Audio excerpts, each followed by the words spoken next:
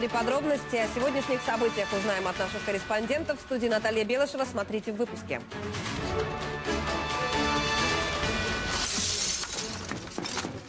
Теракт в Одессе Так рвануло, що зашатало дому, понимаешь? и взрыв в Херсоне. Пленники. Кто вернулся и кого еще предстоит спасти. Вокально-танцевальная «Катюша» как альтернатива Евровидению в России. Может, здесь и своя Кончита Вурст найдется?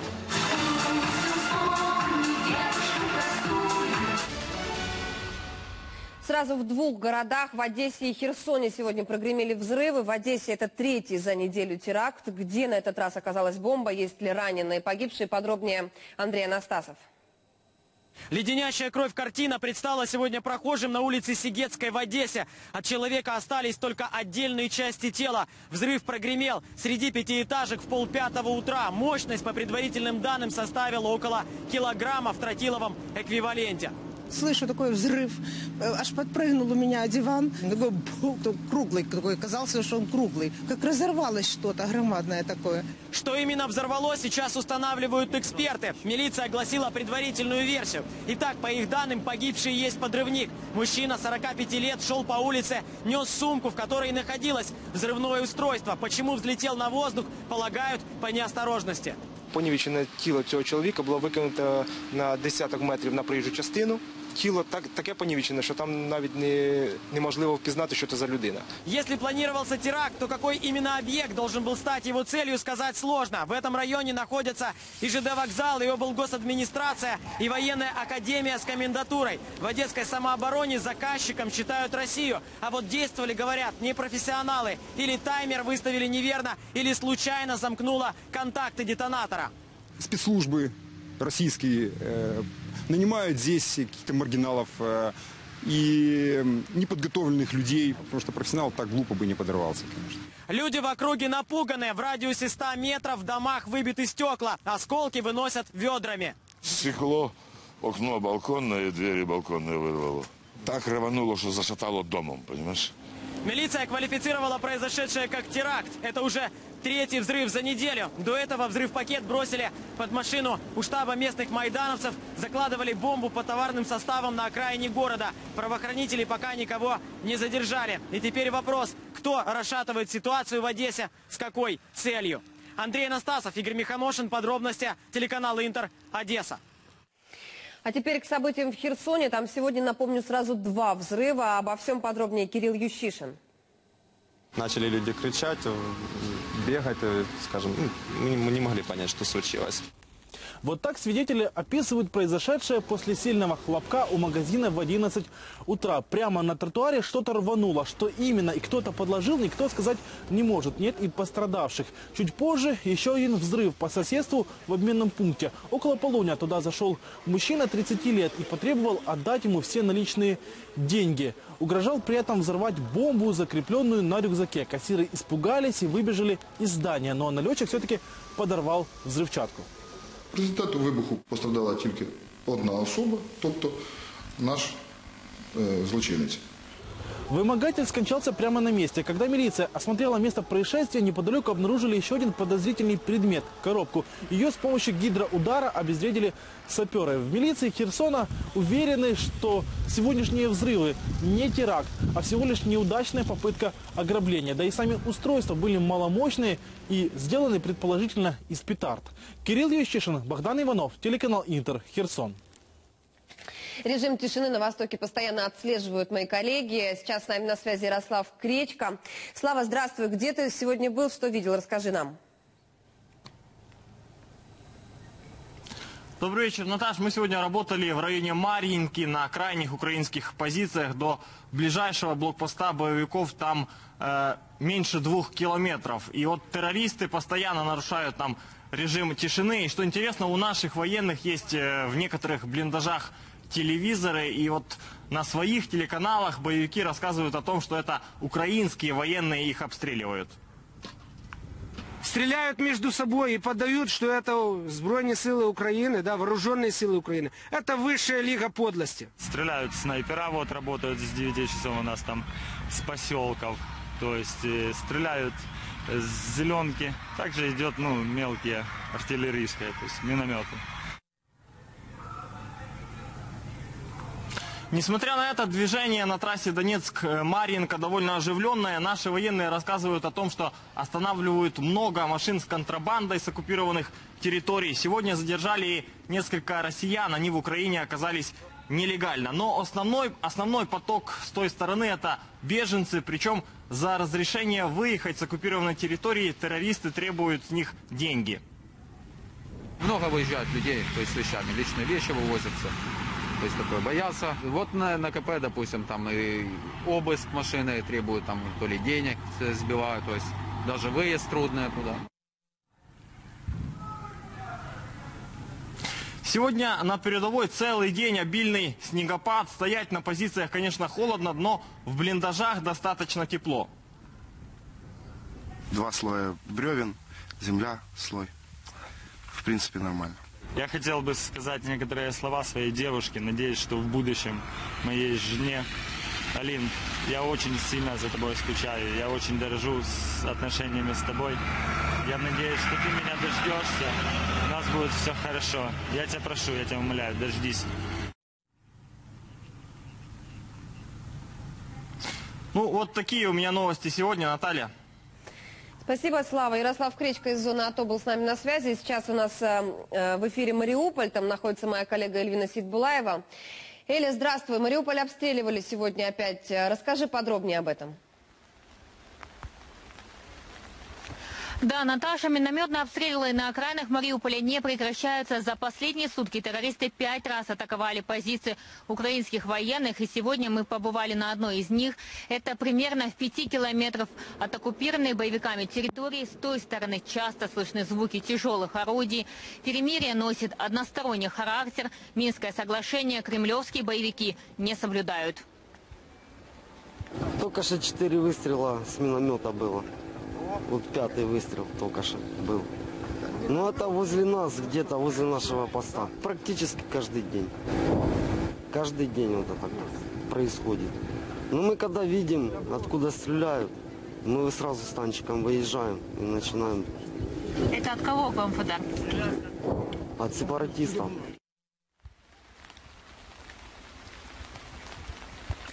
Боевики провоцируют украинских военных, стреляют из пулеметов и минометов. Наши на провокации не поддаются. Террористы засели среди мирного населения. По информации наших разведчиков, количество боевиков увеличилось. Больше стало и техники у врага.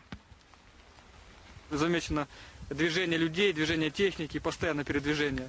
И снайперов, и минометов, ну и, соответственно, ведут обстрел. Мой э, командно-наблюдательный пункт засек зеленых человечков. Ну, они когда хотят. Ну, вот напьются там или накурятся и стреляют. Если мы пришли за страну, за родину, за, за все, за детей воевать, так они пришли за, за, деньги. за деньги, за водку. Наши защитники на передовой уже 4 месяца. Многие пошли на фронт добровольцами. На то и лучше, конечно, техника, да. Там 72-ка, 80-ка, у нас 64-ка. Ну, разница не критическая, воевать можно. Боевого духа хоть отбавляй, будем стоять сколько надо. Сами в военкомат пришли, знаем, знали, куда идем.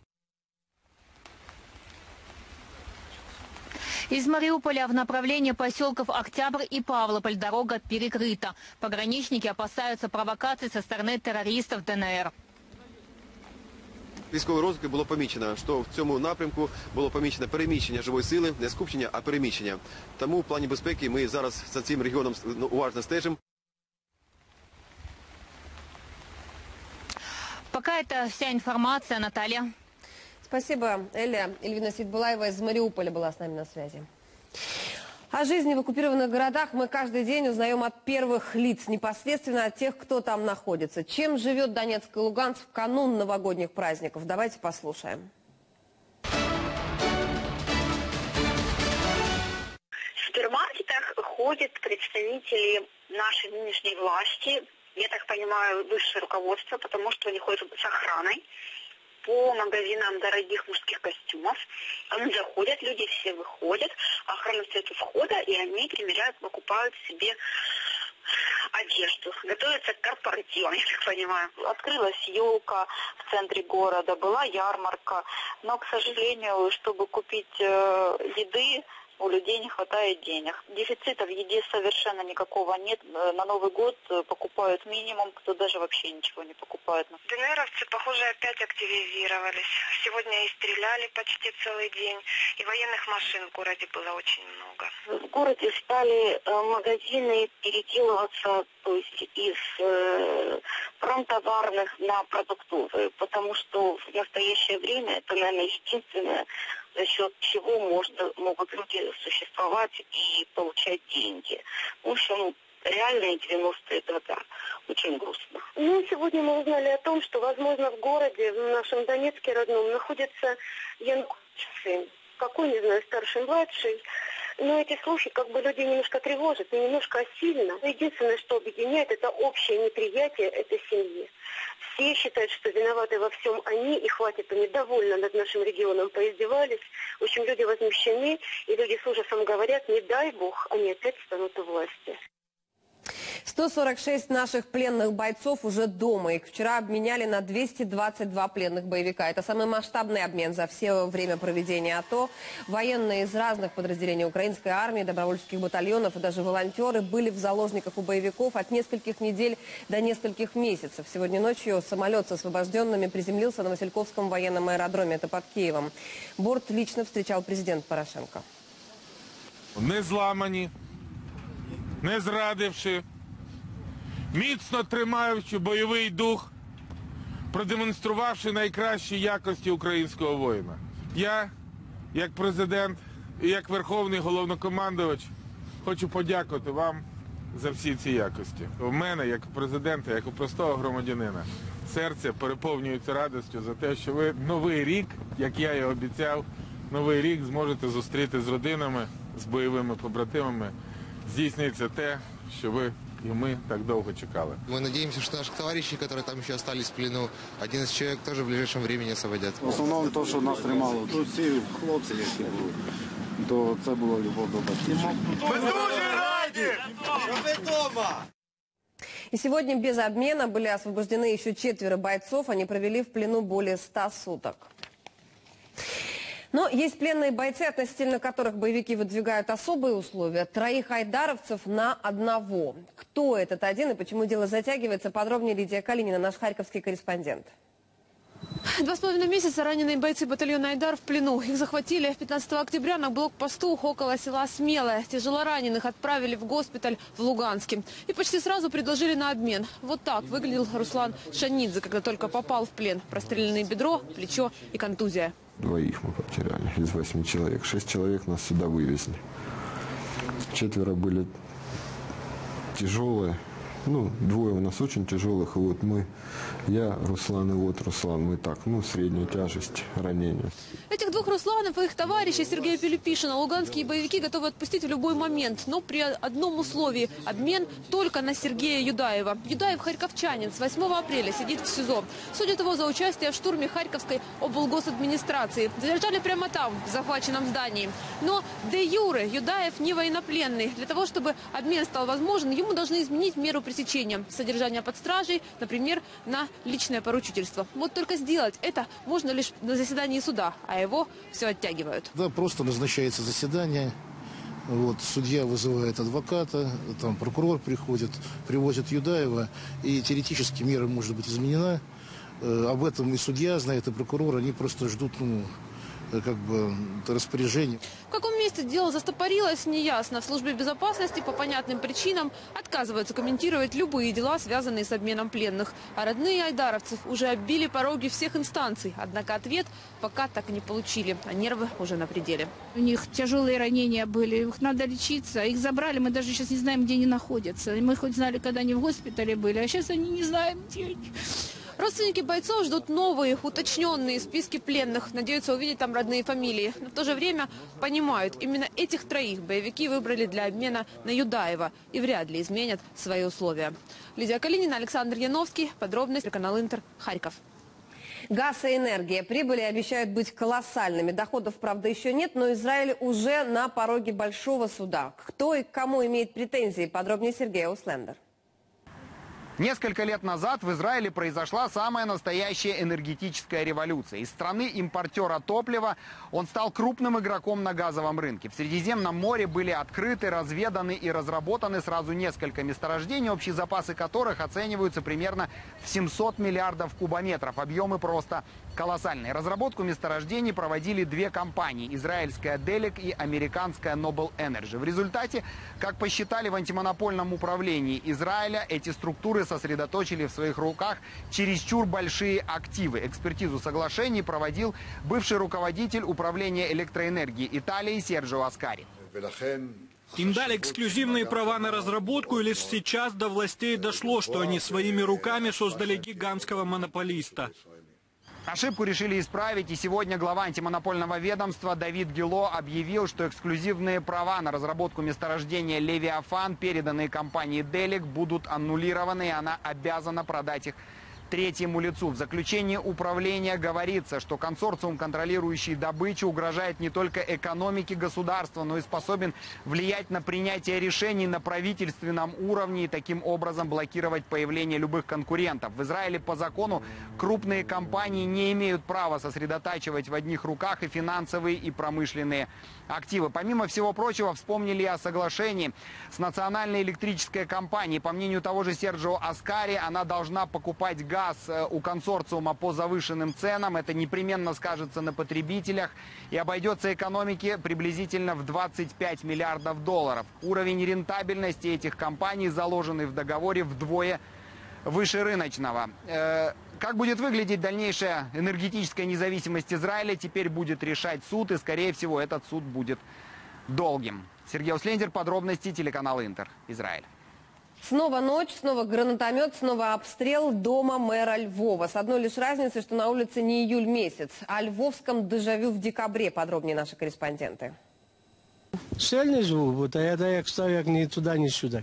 Сосед львовского градоначальника рассказывает, накануне вечером слышал два выстрела. На камере наружного наблюдения один. Но кто стрелял, не видно. За мониторами в тот момент следили сразу два милиционера. Их к дому мэра приставили после первого покушения в июле. Вони знаходилися від самого вибуху, це практично 4-5 метрів в будці, де знаходиться монітор. Дякувати Богу, вони знаходяться в приміщенні, а не на вулиці, тому що ударною хвилею їх би практично знесло. Снаружи след от снаряда, сквозной, стекла выбиты. Как и в предыдущий раз, в момент взрыва семьи Андрея Садового дома не оказалось. Похожий почерк. Снова гранатомет и снова в стену.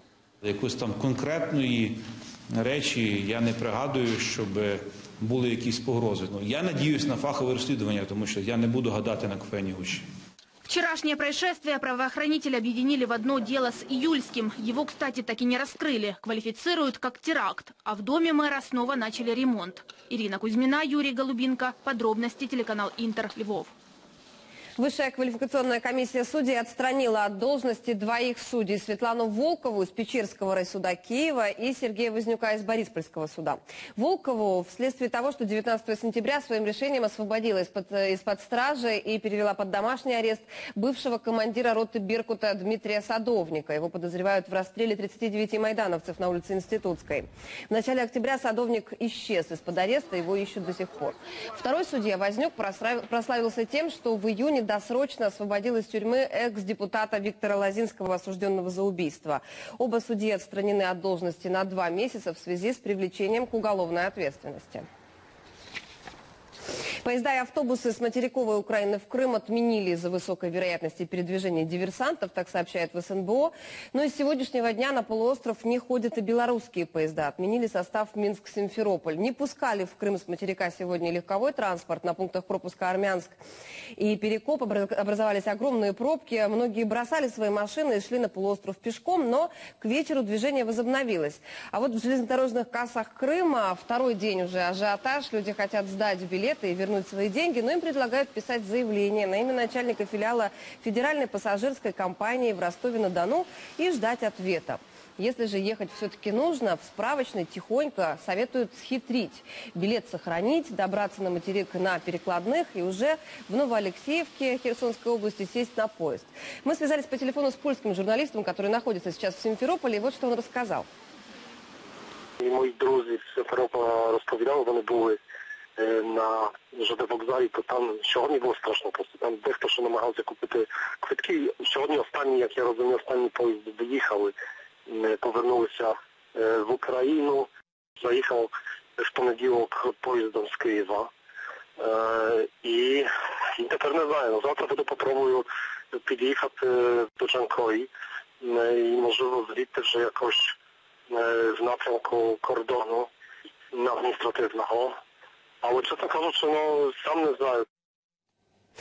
Альтернатива Евровидению появится в следующем году в России. На конкурс ждут не просто певцов, а певцов в кирзовых сапогах. Чей это креатив и причем здесь Минобороны России? Подробнее Данил Русаков из Москвы. Продвижением спасительной евразийской песенной альтернативы занимается Российское Министерство обороны. Видимо, на Минкультуры надежды вообще уже никакой нет. У людей в погонах свой креатив, без военной идеологии не обошлось. Вокально-танцевальный конкурс, как сказано в официальных сообщениях, пройдет уже в 2015 -м.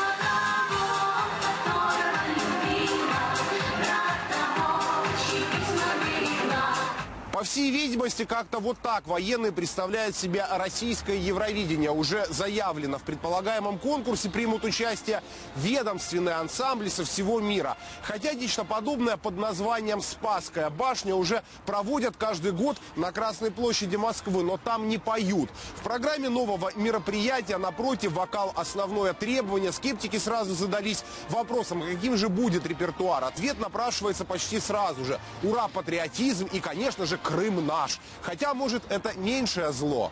Я думаю, что если военные будут чаще петь и реже воевать, то всем от этого будет только лучше. Жизнь лучше смерти.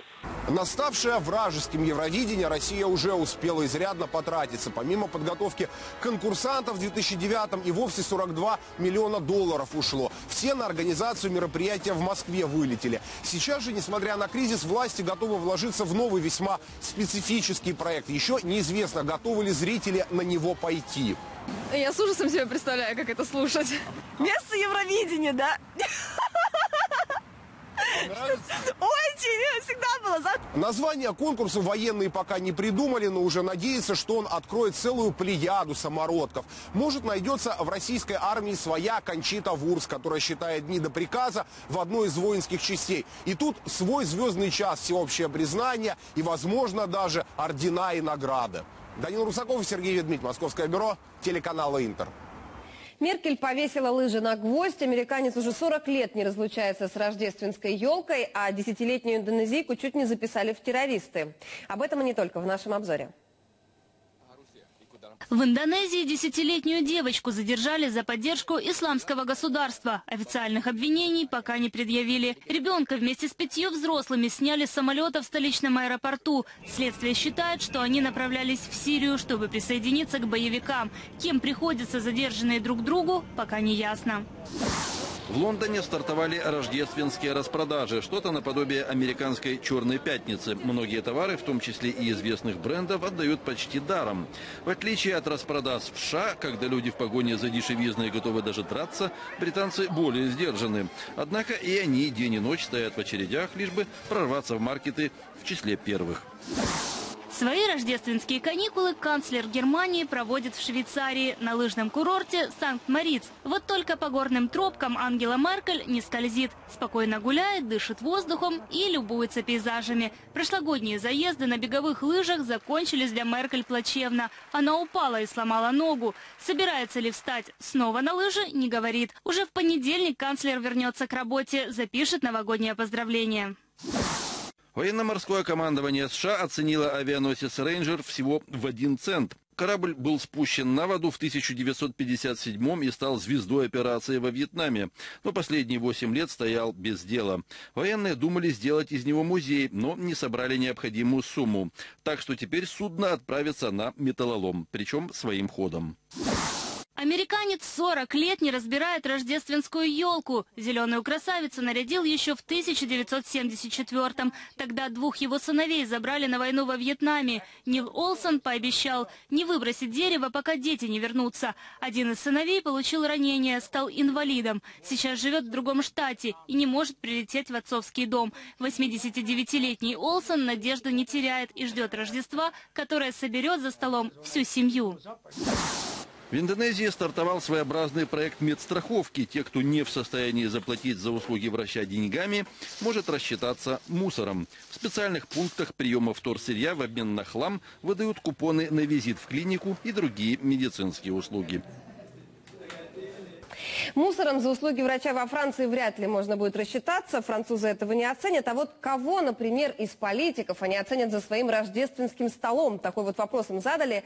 И кого себе выбрали парижане, узнавала София Гордиенко, наш европейский корреспондент.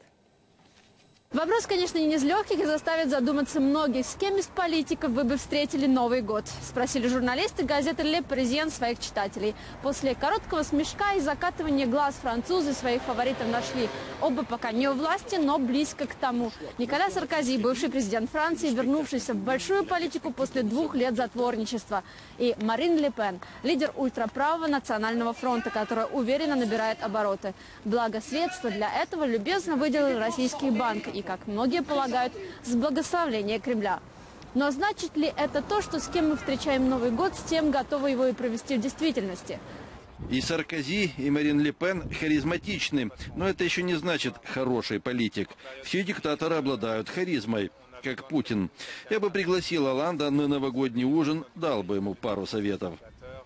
А вот нынешний президент Франции подтверждает старую психоаналитическую максиму «нельзя быть одновременно первым и любимым». Франсуа Оланд в рейтинге Паризиена аж на 13-м совсем непрезентабельном месте, что, впрочем, вполне объяснимо. На всех фронтах он разочаровывает французов. И на личном, после интрижки с актрисой от него ушла подруга, и на общественном. Уровень безработицы буквально каждый месяц бьет новые антирекорды. Впрочем, ничего удивительного в непопулярности Оланда нет. От первого за 20 лет президент президента-социалиста французы ожидали слишком многого. А чем больше ожиданий, тем сильнее разочарование. В свое время французы были недовольны и Саркози, но, видимо, уже забыли об этом. Ну а Марин Ле Пен еще не успела разбить надежды своих соотечественников. Однако все еще впереди, 2015 покажет. София Горденко, Василий Трушковский. Подробности телеканал Интер, Париж. Простых гостей в президентской резиденции Синегора в Прикарпатии почти не бывает. Но сегодня исключение. Кого туда позвали и как развлекали, давайте посмотрим вместе. Предыдущие президенты гостей сюда не звали, а сегодня в Синегорье сразу 60 детей, все из Ивано-Франковской области. У кого-то отец погиб в зоне АТО, у кого-то на Майдане прошлой зимой, у кого-то ранен. Ребята восторженно разглядывают местную живность и пышные хоромы. Мені все дуже сподобалось, особливо цей дім. Він мені нагадує зимову казку. Атмосфера зашкалює, чесно. І дуже мені сподобалися мішки, ведмеді і також, також кабани. Здивувала, що все-таки президентам дуже подобається гуцульська культура. Ну, що вони цим захоплюються, з цим живуть. Гостей принимает первая леди Украины Марина Порошенко вместе со своими детьми Михаилом, Александрой и Евгенией. Для гостей они подготовили концерт.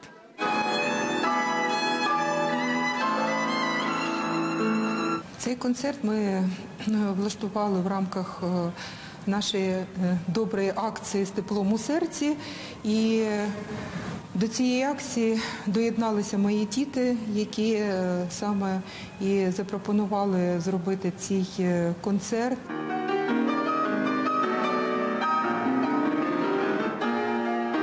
В итоге отличное настроение и подарки. Всем от президентской семьи достались сладости и планшеты. А на прощание под этой новогодней елкой вместе загадали желание, чтобы в Украине поскорее наступил мир.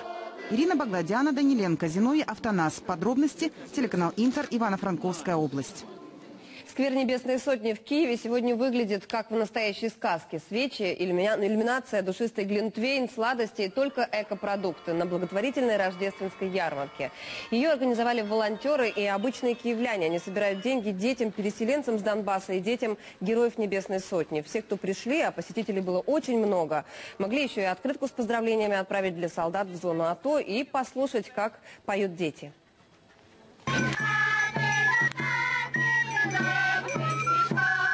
вирішили започаткувати тра- традицію проведення таких затишних е, е, свят. Е, Взагалі, е, наша мета це формування такої міс- міської спільноти. Для того, чтобы этот сквер и вообще наш город был наполнен детским смехом, радостью, улыбками. Поэтому всех с наступающим Новым годом, с Рождеством Христовым. Всем добра, мира, любви и детских улыбок. Следите за развитием событий на нашем сайте, подробности ЮЭ. В прямом эфире увидимся уже завтра в это же время. Хорошего вам вечера и до встречи в подробностях.